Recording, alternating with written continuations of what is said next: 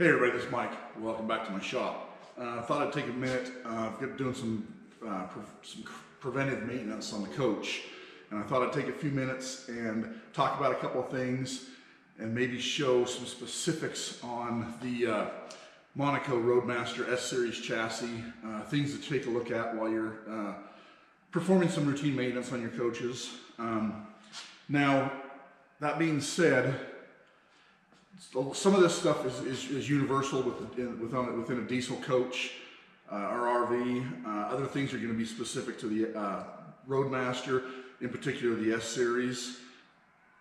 These are going to be pretty much anything from early 2000s to about 2009. And one way to tell is if you have a Roadmaster chassis, the VIN number is going to start with a 1RF. Uh, that that's basically it means it came out of the Oregon plant. So now, while we're talking about this, keep in mind that the newest, and what I consider the true Monaco, is going to be 15 years old. So they went out of business in 09 and was bought out. Um, I don't put a lot of stock in those built after that.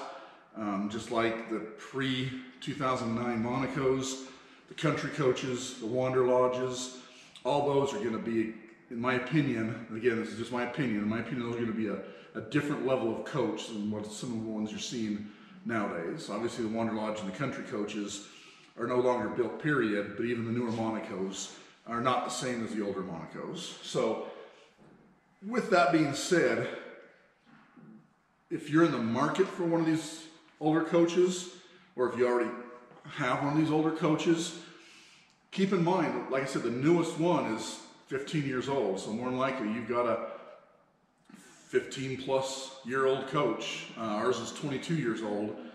So they require a certain level of maintenance above and beyond what a new coach is going to run, is, is going to require. So this is not like uh, those of you looking to buy a coach of this, of this vintage and of this caliber, don't think it's going to be like a, a, a car you drive down to the dealership and you buy one and there again, the dealerships that have these are maybe trying to tell you otherwise, but it's not going to be like going down and buying a car and driving out and having, you know, feeling all the warm and fuzzies because you have a warranty. In my opinion, that warranty doesn't mean crap if, the, if you're driving a, a POS. So um, when you get to that, when you get to certain ages and mileage, there's going to be certain things that are required for maintenance. And I don't want to sound harsh, but a lot of the things I'm seeing on the forums on the Facebook pages and all these things for the Monaco specific, or even the even the, the, the other ones, the Alpines, the country coaches, the Wander Lodge, people want to buy these because they are a, a, a well-made coach for a, for a production coach. They were a well-made coach, but then they don't want to. They want to do everything else on the cheap, and I'm just trying to trying to explain that that's not the way to do it.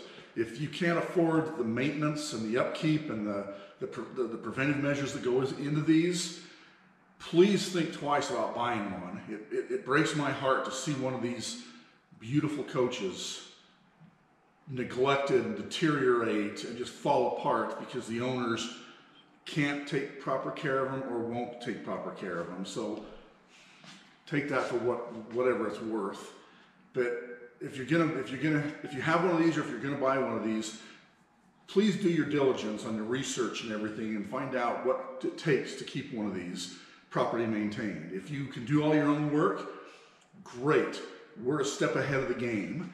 If you have to hire it out, be aware up front that that's going to come with an added expense and you're going to have to find, you have to do your homework to find a reputable shop that's going to do the quality of work. Because most shops that work on these I'm, not, I'm, afraid to say this, I've seen a lot of repairs done by other shops and it is substandard workmanship. So they're going into it with the fact that they're going to do this, you're going to put, they're going to, put, they're going to do this repair, get you on the road, and they'll never see you again.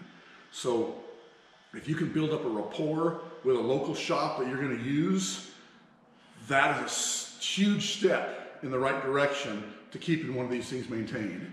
we've got some friends that have just sold their, they had a 99 country coach that had like 217,000 miles on it when they sold it.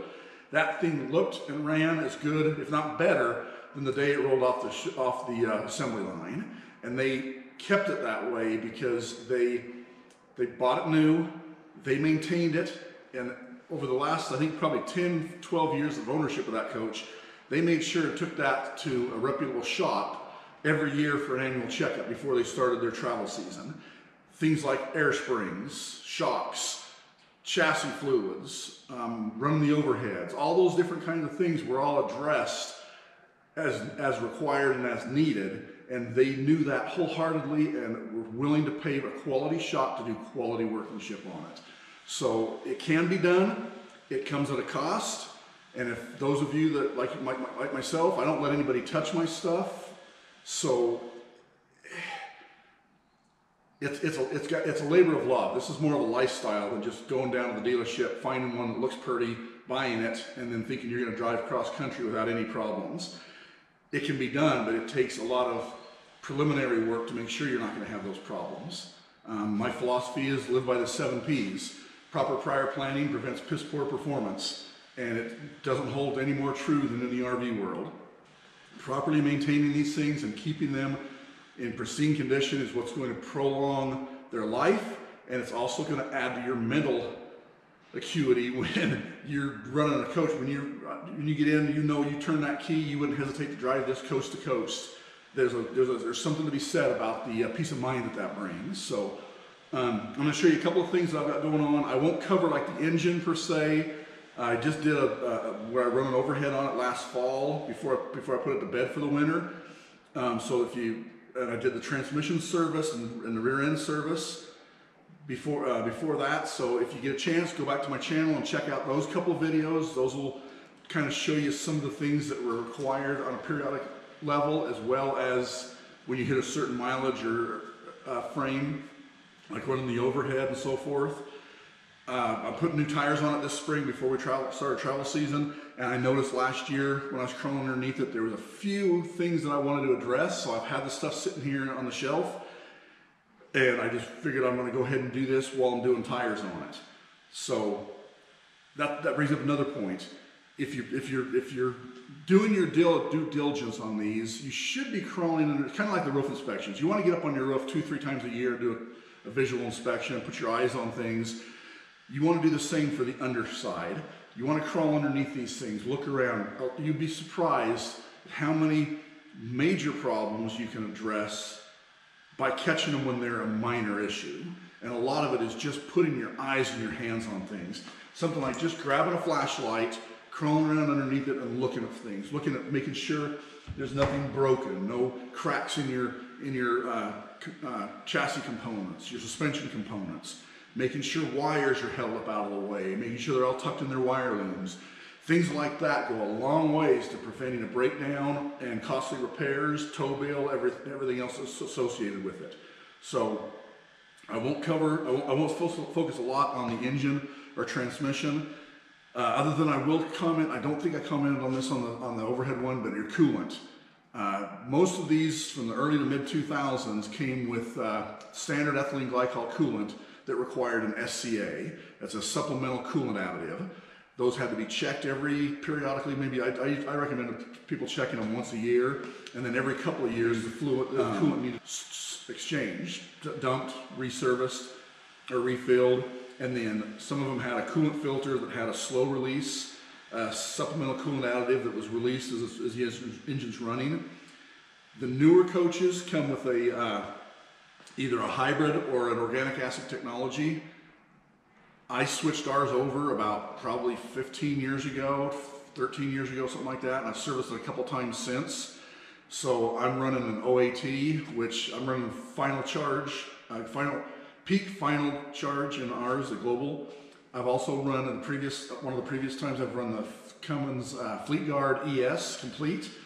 Caterpillar makes one called it's called Cat OAT. These are, they consider them lifetime coolants. I don't think anything's lifetime, but most of them have 600 to 800,000 mile service intervals, which is phenomenal. so I, even with those, you still want to do a check on them.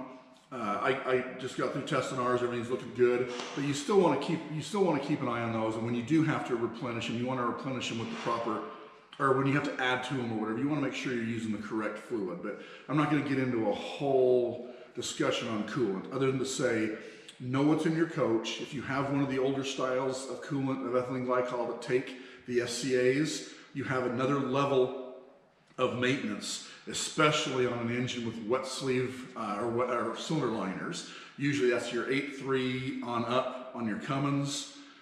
Caterpillars, I believe it's the C9 on up, and it's gonna be all your Detroit, um, especially your Series 60s and your, uh, your Dole two strokes. Those are all gonna have liners, so those are all gonna require certain levels of uh, supplemental coolant additives or the new, um, the new coolants that don't require that. Uh, basically what that does is it's going to allow a level of protection in those engines because when coolant starts cavitating, when the, when the, when the additive package is depleted and they start cavitating, what that does is it starts, each one of those little air bubbles, when they implode, it's like a, a it's like a subsonic explosion going on in that coolant and it will pull material off of the outside of the liners, which is the inside of the cooling system, where your piston runs up and down. So all that, that pressure, those pistons going up and down in that combustion chamber is creating extreme pressures and they can build up harmonics and get bubbles going and when the additive package starts depleting and when those bubbles start imploding, that's what's happening is it's literally just pulling pieces of the inside of those liners off until all of a sudden you've got a hole in the liner and you're dumping coolant straight out through your, uh, your combustion chamber and out your exhaust. At that point, you're usually pulling head, pulling liners, and it's a major, major in-frame overhaul. So to prevent all that, you want to make sure you're treating your coolant system, co uh, cooling system properly. And um, that requires, like I said, a, a, certain level of dedication to your cooling system. Now, um, a couple things I noticed while I was under the coach last year, curling around was on the ride height linkages. So again, this is a 22 year old coach, but I started noticing that some of these were getting, not terrible, but they were starting to get a little cracked. And this is what hooks your axle to your ride height sensor and controls the ride height of your coach. You should, most have one in the front, two in the rear. I've seen on occasion two front, two rear, but generally there's one up front, two in the rear. These are pretty easy to change. So if you're crawling around underneath and you start seeing the rubber pieces on them start cracking and, and tearing, or the rubber getting hard and, and, and not so pliable, it's a good idea to change these because if one of these go, it will prevent your coach from airing up properly. And once you can't do that, it's a pain in the butt on the side of the road or in a campground trying to replace these. I just bought these Haldex universal ones. The part number is a 481000225. Uh, I believe they're around 16, 18 bucks a piece. I just bought a few of these. Actually, I bought four of them. I bought one to carry as a spare years ago, and then I just bought three new ones um, here over the winter, and I replaced all those. So I'll bring you in and show you on the coach where those are usually located, and they're pretty simple to change. Uh, let's see, I've got my uh, center caps polished up here. Let's go over and I'll show, I'll, I'll, grab your handheld and I'll walk you in and kind of show you a few different odds and ends. Those of you that follow me on several of the forums know that I'm a huge proponent of these uh, balance masters. Uh, they're very similar to the Centramatics. The difference being is the Centramatics uses steel balls in the rings, um, whereas the Balance Masters use a heavy metal, such as like a mercury in the outer ring, so they're, they're, pretty, they're pretty quiet. The Centramatics, you can kind of hear the swishing a little bit as the balls are running around those up to, I don't know, 10, 12 miles per hour. Then they kind of sling out and, and uh, reposition and you don't hear them anymore, but at low speeds, driving through campgrounds, stuff like that, you can sometimes hear them swishing around in the rings, whereas these are pretty, these are virtually silent. So I'm a huge proponent of these, let's put it that way. I've had them on my last coach, our Beaver, for seven years, and I've had them on this for 17 years now. So I scuffed, uh, scuffed them down and repainted them. They're all ready to go back on. The fronts were in pretty uh, rough condition of the mating surface, so I actually took a DA and sanded them down and repainted them. Uh, those of you who follow me also know I'm a huge proponent of cross crossfires. These connect your inner and outer duals on the air pressure so that you can maintain proper balance and air pressure between the inner dual and the outer dual. Something as simple as a 5 16 diameter or a 5 16 inch circumference difference from an inner dual to an outer dual can result in you're dragging that smaller tire about 13 feet per mile because they're bolted together. So you, and, and, the inside dual always runs hotter because there's less air passing by it, plus it's closest to your, your brake system. So it's, it's nearly impossible to keep those tire pressures equalized without some type of a system like this. There's another one called Cat Eyes. They've been around a little bit longer, but I've run these crossfires, like I said, on our first coach or our first diesel for 17 years. I had them on my gasser before that. And so I've been running these over 30 years now. I believe my first ones were Cat Eyes. Then I moved to Crossfire with our last coach, our first diesel, and I'm running and running Cat Eyes on these. So those will all go back on as I'm putting the tires on. Let's see. So as I come around here to the RV bay, here's all of our new tires. Now here, I'm gonna see if I can shine a light in here and show where the lift, where the ride height linkage is on this one. It's right there. You can kind of see it between the axle and then the ride height switch is right above it. it might be kind of hard to see. Also, while you're underneath there, check for things such as your welds, where all your suspension components meet. I generally go through and give all those a good once over. Check your air springs for, um, usually these will start deteriorating at the rolls, top or bottom. You have on the on the S series, you're going to have four airbags up front, the outer rear of the H frame, at front and rear, on both sides. Also check things like your air lines, your air hoses going to your your cams for your brakes. Make sure all those are in good shape. While you're at it, it's a good time to dump your air pressure or uh, bleed the tanks. There's a tank right there. The petcock below it. This one here has a hose that goes up with a valve right up by the side of the generator. So you can give that a couple of burps a few times a year. You should not get any moisture out of them. If you have moisture coming out of those, then that means that your air dryer, your cartridge for your air dryer is at capacity and saturated and needs to be replaced. I'll talk a little bit more about that when we get around to that back side. Um, there you can kind of see let's see, see my Watts link that I installed on the back. I've kind of I've drilled and tapped them into some plates that I fabricated. So that's one of the linkages. The other one's on the upper on the other side. And it mounts right behind the generator to the H-frame. That controls the movement of that as it's going up and down. That's a, a big improvement on these. More so on the RR8 R chassis and the RR8M RM chassis that uh, did not have the tag axle. The tag axle seems to take a lot of that out, but I fabricated one for mine and put it on about uh, nine, ten years ago now, more or less to see what kind of effects it would have on an S series chassis with a tag axle.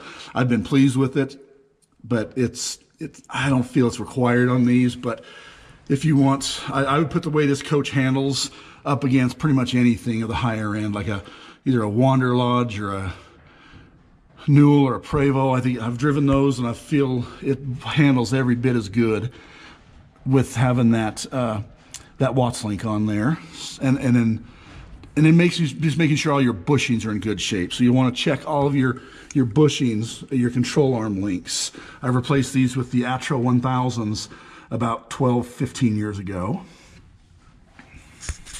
Okay, let's continue around. All right, come around. Here's my new toils I'm putting on. I've polished the wheels all up, so they're all on, looking good, ready to go back on the coach. Um, oh, one thing I didn't cover. If you're running wet hubs on the front, now would be a good time to also check, you want to check these fluids a couple times a year. Uh, so if you're running greased on the front, no big deal. You still want to have them serviced occasionally, but if you're running wet hubs, I recommend 20 to 25,000. I think Monaco calls 25 to 30. I generally like to do it a little sooner than that. Um, mine ends up being about every four years I'll do mine, which equates to in that 20 to 25,000 mile range. They're simple to service. You pull the plug out, turn that down to the six o'clock position, let it all drain. I usually put a forma funnel up underneath there so you don't get oil all over your, your hubs and your uh, flanges. Let it drain. I usually set mine, I do an axle at a time and set it and let it drain overnight. Then come back in, put your plug in, and you pop the center cap and you fill it with uh, GL5 lubricant of your choice until it gets above the fill line. Now you want to, when you fill these, you don't want to just fill it and walk away. You want to fill it because it has to flow in to all through those bearings. And then sometimes I'll even rotate it a couple of times to make sure and coat all the bearings and then let it stabilize. And it'll lower, you put some more in. You want to make sure, and there's two lines there. I run it to the to the centermost line as, as the full level. Once that's equalized and done, then you go ahead and put your cap back on and you're good. Same for your tag axle. Tag axle is going to be the same way. Your drive axle obviously is lubed through the differential. So I've already serviced that last fall. But that, that service is a, it's a full floating axle, just like on a three quarter or one ton light duty truck. The oil is moved out from the center section, the carrier differential, out to the axle bearings. Tag axle, same way.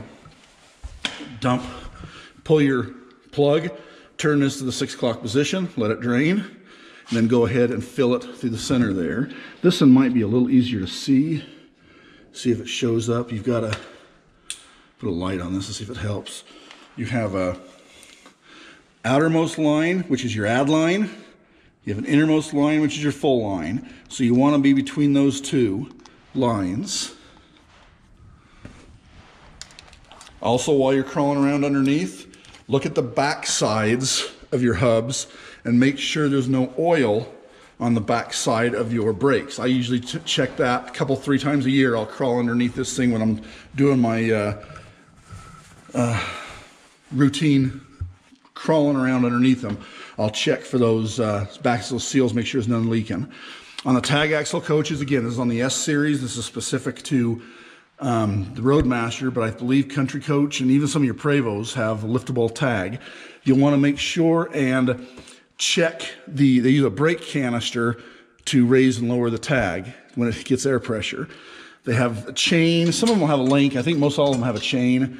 I put foam, or I put hose zip tied around mine just because it controls, in case that rattling out when there's uh, weight down on it and the chain is slacked, it takes that rattle out. I hate driving under overpasses or along K rails on the on the roads, and you're hearing those chains back there rattling. So I covered mine to protect that. Now, also while I'm right here, let me see if I can. Let me see if I can show I'm sorry if I'm moving this camera all over the place. I'm trying to get in here to show where I made an alteration to my uh, vertical supports. Now on these S-Series chassis, this vertical support right here that, can, that your lower control, your upper and lower control arms for your drive axle attached to, they sometimes have a tendency to break where they they basically just butt up against the frame rail. And I've seen some on some of the forums that have broken, and it's uh, quite an extensive repair. So, uh, again, we bought this is a 2003. It was fabricated, in, it was built in February of 22 is when it come off the assembly line. Uh, we bought it in February of 07, so it was four model years, five years old when we bought it. And I kind of learned this stuff over the years just by following and working on a lot of these. I don't work on as many these days, but I have worked on quite a few of these over the years. And I started seeing some of those cracks. And in 08, so 09 model years, I noticed that Roadmaster had added a gusset, like a backbone to this. And it's basically just a piece of 3 8 inch plate that runs vertical runs vertical from here all the way up and it gets slightly wider. It's about, uh, it's probably an inch and a half wide down here and it's about almost four inches wide at the top. I'm just gonna show up real great up in here. So when I saw that in 08, uh, I, I, had a pretty good relationship with our Monaco dealer, and there was one here locally. So whenever he got new coaches in, he was he had he was awesome about letting me uh, come in and crawl around them and look at them. So I got to see this progression of the coaches and the chassis and so forth over the years. So when I noticed that, I immediately I kind of took a pattern and added it to ours, and then I constantly keep eye on the welds and everything else. I, I, did, I welded them. I made sure I got them all burned in good, but I still check them uh, routinely. Uh, let's see what else. Oh, so those of you who also follow my videos, there's where I made the uh, lengthening of my lower control arm. The upper one's kind of hard to see, but when I corrected my thrust angle on this coach, because I had a pull to the right, I lengthened the end of these about an eighth of an inch to get that thrust angle corrected. And then I also did the tag axle so because they were both even distance. So I went ahead and corrected all that. That helped tremendously. You can let go of the wheel and this thing will track straight down the road. I actually added a little bit of thrust because we generally travel, we prefer to travel on two lane country roads where there's a crown on the road and so they have a natural tendency to want to drift off to the right. I actually added a little bit so that it kind of pushed it to the center of the road. On two lane roads, it handles great. On flat concrete interstate, it will slowly, oh, over a period of probably, I don't know, five or six lengths, it'll start drifting ever so slightly to the left. Uh, if you let go of the wheel, holding onto the wheel, I mean, it's one finger driving is usually on these things. They just it, it, this thing handles so well, but it does on flat interstate. Will slowly start drifting to the left, but on two lane highway, it holds on that crown perfectly. Again, you want to make sure come in and check your bushings um, where these links connect. Here you can see this is where I lengthened the tag axle. And right there, lengthen the tag axle. Um, also, while you're under here, check your coolant. Not only your rubber hoses, I replaced these a few years back when I did my whole cooling system, but they connect to steel tubes that run the run up around uh, to loop around, and then there's short sections between the engine and the tubes. Keep an eye on those. Those have a tendency to rust, rust and rot out. Mine were a little pitted from road spray and gravel and stuff like that, kicking up on them when I pulled mine all apart and changed all the hoses. So I sanded mine down, wire wheeled them, and painted them with a POR 15, and I keep an eye on them. But uh, those are not available to anybody, or those are not available from anybody. I'm prepared at some of. point to have to build build those when the time comes. But um, until that time comes, so they're they're staying pretty uh, pretty good condition just after being painted. Now, the thing I want to show you underneath this specifically is the on these S series they have a tendency to bury the uh, air dryer right behind the tag axle on the driver's side. So it's going to be your street side right inside the frame rail. Let me see if that shows up. You should, yeah, you should be able to see the new cartridge right there.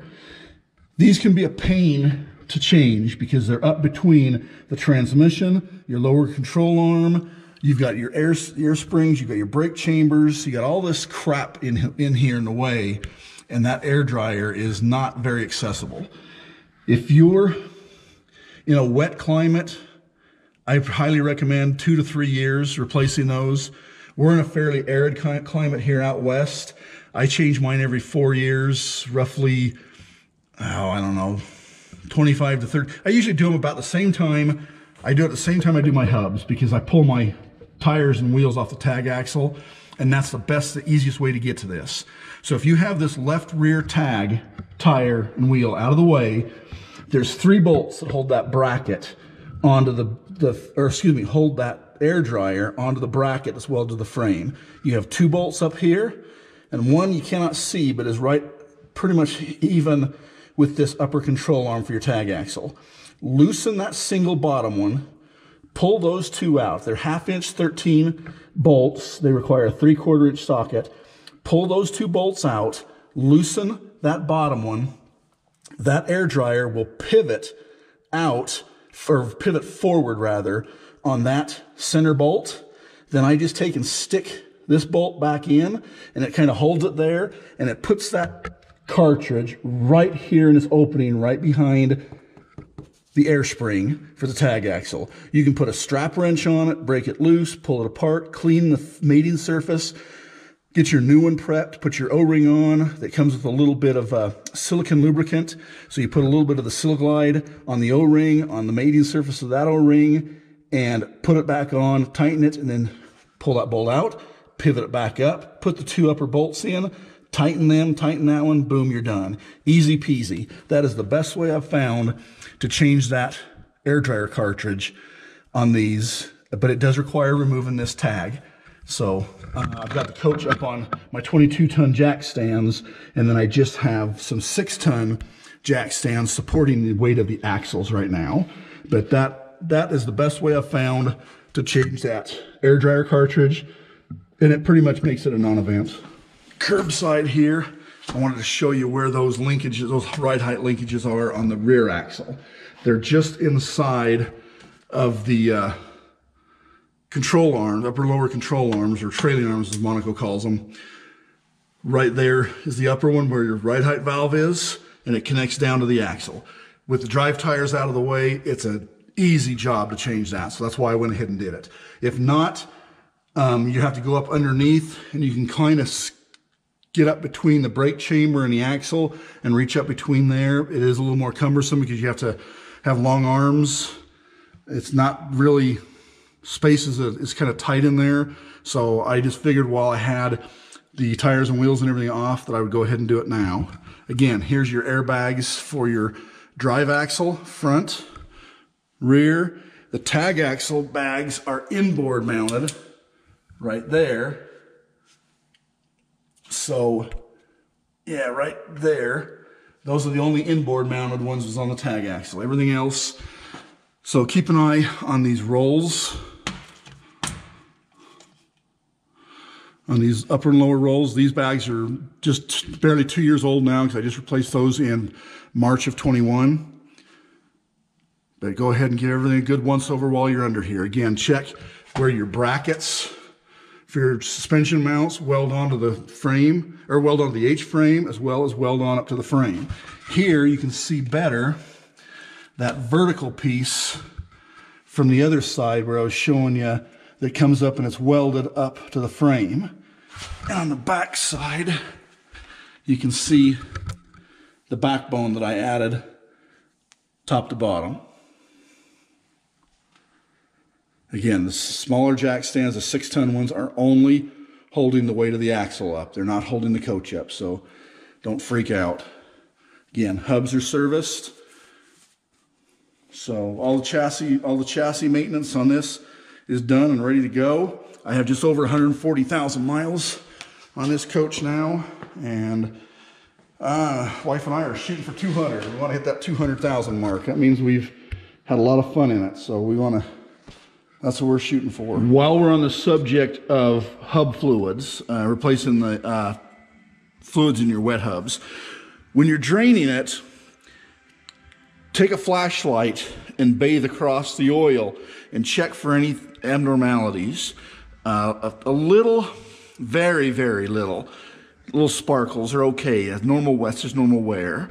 Um, but when you start seeing that whole metallic look coming out, silver, or worse, chunks and flakes, you might as well stop, plan on pulling the hub apart because um, something's failing in there. So just a little tip. I, I, I set a clean pan under each one and I'll drain it and then I'll pull it out and kind of tip it and look in the light and then clean them out and then move to the other axle. So I've got one under each side of the tag, did it done, then move forward. And while the front's draining, then I'll fill the tag and vice versa. So um, anyway, that's just how, how I do them. Now, when you do need to take these apart and put them back together, some manufacturers will say torque the inner nut to a certain torque, back off one flat or 90 degrees, 60 degrees, whatever, depending on the thread pitch of the spindle. That's a good starting point. However, the specs on these are one to five thousandths end play. That's 0.001 to 0.005 of end play. That's in and out movement on that hub. So I'll usually set a dial indicator on a spindle, set the plunger of the dial indicator over here to the hub, or vice versa. It doesn't matter how you measure it. You just want to measure that in and out lateral play on that. And you don't want it too tight because a tight bearing will fail. Too loose is just gonna, well, it's gonna end up failing anyway too, but take a seal out first probably. But when you set it, make sure you set, double check it when you torque that outer nut. Like I say, the inner one, if I remember right, these, it goes to like 50 foot pounds, then you back it off so much per thread, and that'll get you pretty close. But when you put the lock washer on and that outer nut, and you torque that to either 250 or 300, depending on whether, depending on what uh, axle you're working on, it'll be around 250 to 300 foot pounds what you tighten that outer knuckle. It's going to shift it ever so slightly to the inside of the 60 degree thread pitch. So keep that in mind. A lot of times when you get a feel for it, you'll go through, okay, I'll set it up at say two and a half to three thousandths on the first one. Then when you torque that outer nut, it might land on about one and a half to two thousandths. So keep that in mind. You want to double, you want to set it up initially.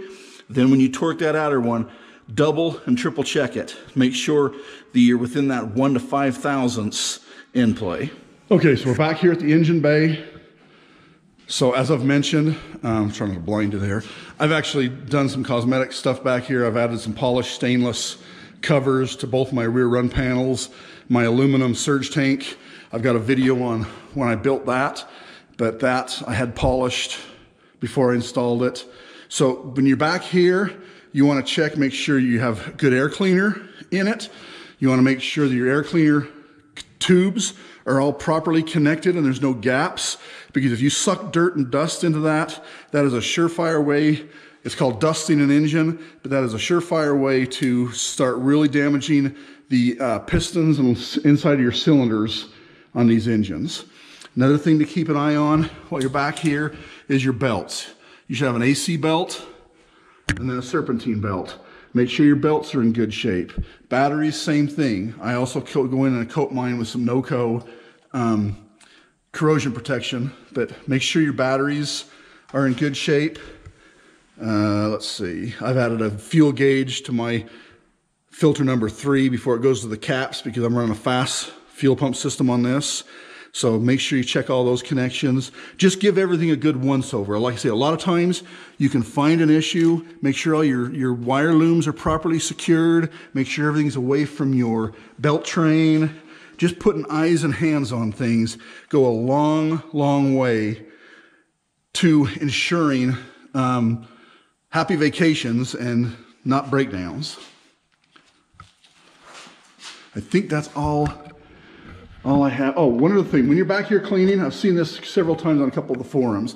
When you're back here cleaning or doing just normal routine maintenance, you can start the coach from back here. You have a, uh, if that's on rear, you have to have the key on, but you can start it from back here. I see people bump that once in a while, and then they have a no start condition when they get up front. So if you've been messing around back here and all of a sudden you have a no start condition, please check that first. It's a good possibility you might have bumped that, especially if you're if you're holding this or something trying, while you're trying to um, connect your uh, rear run panels. It's not uncommon to bump that switch. Uh, let's see. I think that's everything. Keep an eye on your, say, your coolant level. I've, I've got a sight glass that I, I, built into the side of mine. Some of them have just got uh, the plastic bottles. You can see where the coolant line is. If you do have a plastic bottle, keep a very close eye on those. They have a tendency to start cracking, especially now, like I said, the newest ones are 15 years old. I rebuilt mine, I think it was probably six, seven years ago, I built my aluminum one. I think there are companies now that you can buy these from, but I highly recommend going with a steel or an aluminum one rather than the plastic. And that's a good item to change before it breaks and leaves you. So keep, keep that in mind. Well, that uh, that concludes the what I wanted to cover on the Roadmaster S Series chassis maintenance. It was not all inclusive. It was just kind of a rough overview while I had my tires and wheels off. I hope it was informative. I hope it encourages you to go out and become personal with your with your with your Monaco. Um, crawl underneath it, look around. Um, if you, the more the more times you put eyes on something, the more you're going to look at something and know when something's not right. If you know what good looks like underneath, and you crawl underneath there and you see a wire, you see something that doesn't look right, you're more apt to, to it's more apt to catch your eye than looking under it once every five years or paying somebody else to look under it. Now, if you are fortunate enough to have that kind of discretionary income, you can take this to a shop, great. I commend you for that. But I still would encourage you to know your rig because there are shops out there, and I hate to say this, being a, a, a mechanic my whole life, there are shops out there that will prey particularly on RVers knowing that they'll probably never see you or that coach again. So if you can build up a rapport with a local shop rather than having to deal with stuff when you're out on the road, I think that's a I think that's a win-win. I think it's a win for you. It's a win for the coach, and in all honesty, it's a win for the for the, uh, the, the shop because I know what it's like. I, I had my own business for 20 years, and I know what it's like having those loyal customers, the ones that if you you know what they're going to do even before almost before they do. When you're working uh, when we're working on something, I knew my clientele, and I knew hey, money's a little tight for him this needs to be addressed right away. This, this, and this can probably wait a little while. That's how I would present it and let them make the decision, but I kind of already knew that. Um, then there was others that they wanted anything and everything that did not look right. They wanted it fixed right then and there, no questions asked. I absolutely love those clients, but those are few and far between. So again, I, just I, I wanted to just at least shed a light on what kind of things to look for and what kind of things not to overlook. Hub fluids, different, some of the stuff like the, the transmission service and the engine overhead, I covered those in other videos, so I didn't spend a lot of time on them here. If you have questions about those, go check out those other couple videos. I tried to cover them pretty in depth on how to run the overhead and how to service the transmission, but this was mainly dealing with things to look for in the chassis and it definitely is easier with the tires and wheels off the coach.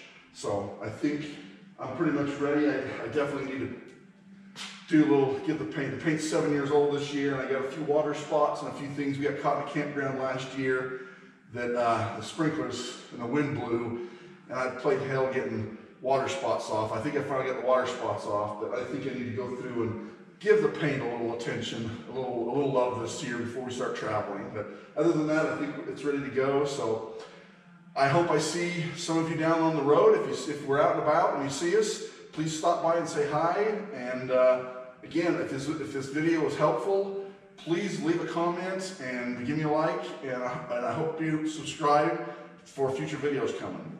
Thank you very much.